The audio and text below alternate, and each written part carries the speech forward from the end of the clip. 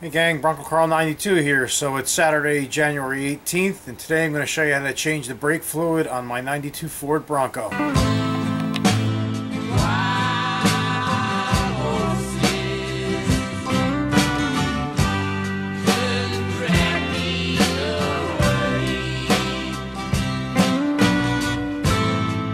Alright, so I figured since the Bronco's been laid up on uh, jack stands here and all the wheels and tires are off, um, and it needs a brake fluid change because uh, I haven't changed the brake fluid, um, I think, since I put the truck together. And uh, usually two to three years is when you should change brake fluid.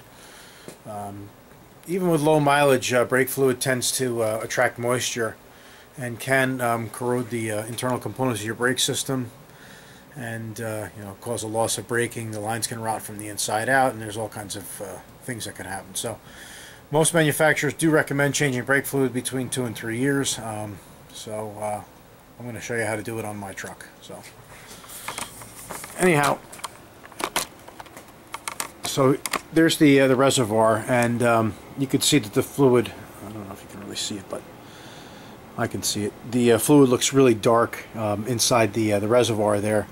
Um, and uh, once we're done, um, it will actually look you know, clean and uh, more yellowish. That looks more brown. So first thing we're going to do is we're going to suck all the uh, the fluid out of that reservoir, uh, and then uh, we're going to refill it with fresh fluid, um, and then we're going to suck fresh fluid through the the uh, complete system. So through these lines, down through the um, the ABS valve that's on the frame um, and uh, we're going to start at the uh, the right uh, the right rear wheel, and uh, then we're going to hit the left rear wheel, then right front, and then left front, and uh, draw new fluid through the whole system. So let me get you set up and show you how I'm going to do. All that. right, so to uh, suck the fluid out of the the reservoir, I'm going to use this this sucker here that's made by Vacula, and basically what you do is um, you have air connected to it. When you push down on that, it creates a vacuum in this line here um, and uh, sucks the fluid out.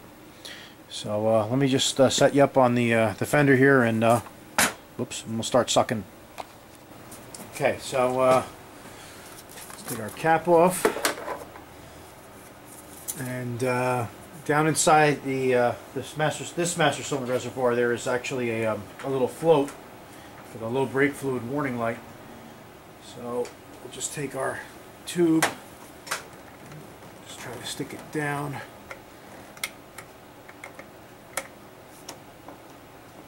In here.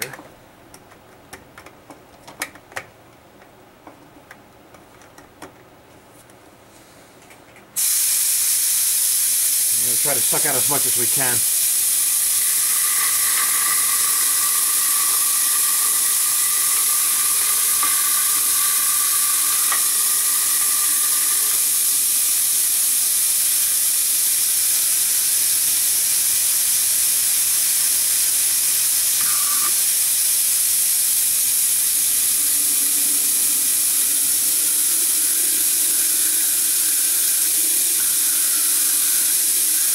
Now some master cylinders you can actually um, get every last ounce out. Um, I don't recommend getting every single drop out because you don't want to, or if you want to try to minimize the uh, introduction of air into the system. Outside.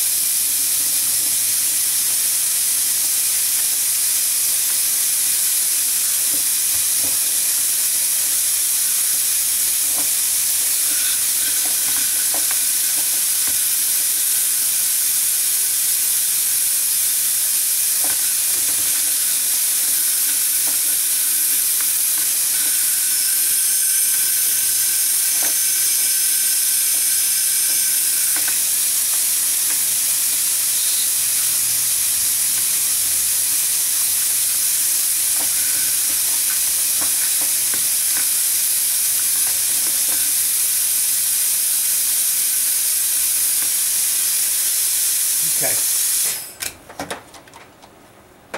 Uh, and I don't have to stress, please be careful with the brake fluid around your paint work. Uh, brake fluid will take paint off. I uh, actually found that if you go through this little hole over here There's one in the front, one in the back. You can actually get just about all the fluid out of the master cylinder reservoir, which I've done now. So anyhow, sometimes it uh, helps to take a second look. So anyhow, um, the fluid I'm going to be using is this uh, Johnsen's Dot 3 uh, synthetic brake fluid. Um, this system originally had Dot 3. Um, I so suppose you could use Dot 4 in place of Dot 3, but I prefer to use, uh, I guess, what was in here originally. Um, I don't really know how much heat this brake system generates, and I think Dot 3 will be fine. So anyhow, that's what Mike had at his store, so that's what we're going to use. So we're going to fill this up, first of all, with this nice, clean, fresh fluid.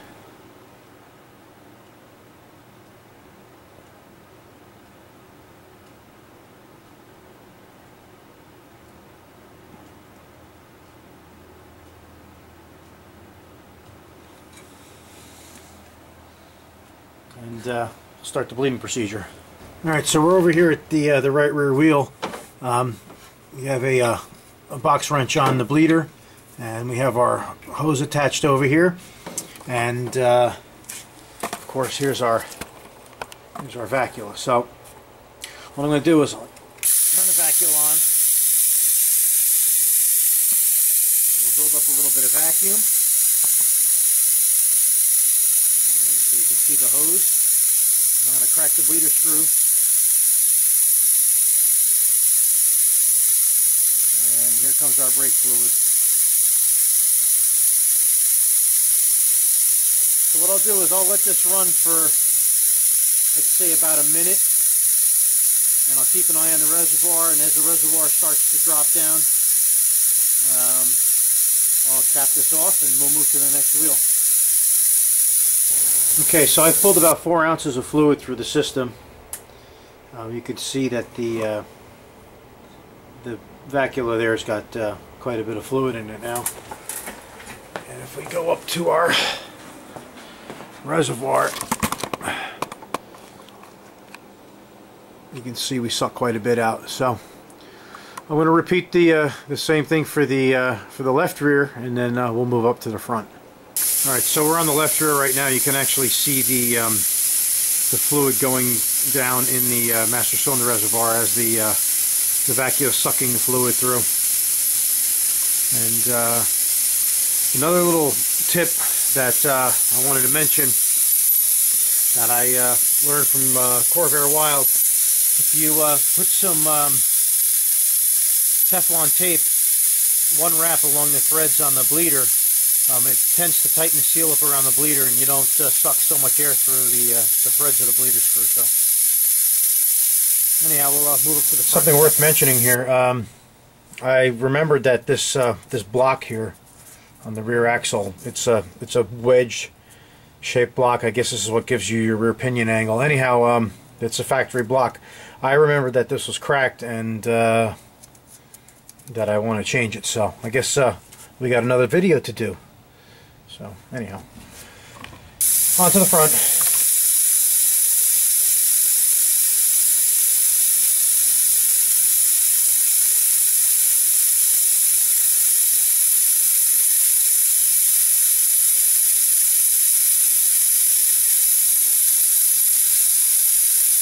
Fluid looks pretty crappy in the front here.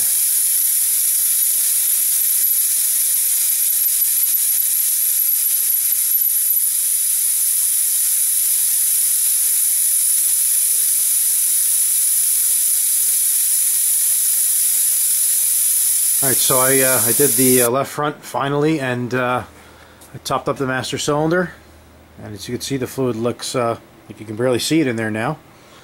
Um, I used my uh, my entire quart here so that's gone. Um, the uh, fluid that's in there let's put that in a container and see what it looks like. Alright, so I got this clear peanut bottle. Let's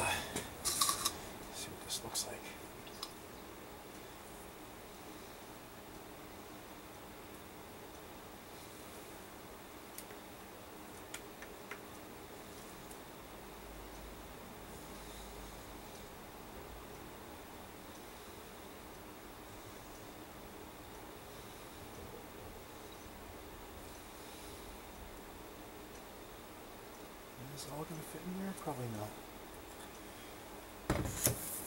Yeah. I'd say that looks pretty, pretty freaking nasty. So. All right. Anyway, uh, anyhow, um, you should always, uh, when you're done, make sure you have a good pedal. I've done that. The pedal's firm. Uh, the master cylinder's topped off, and uh, and that's it. So I'm gonna go uh, put this video together, and uh, we'll uh, catch you guys on the next time. So as always, thanks for watching, and uh, take care, guys.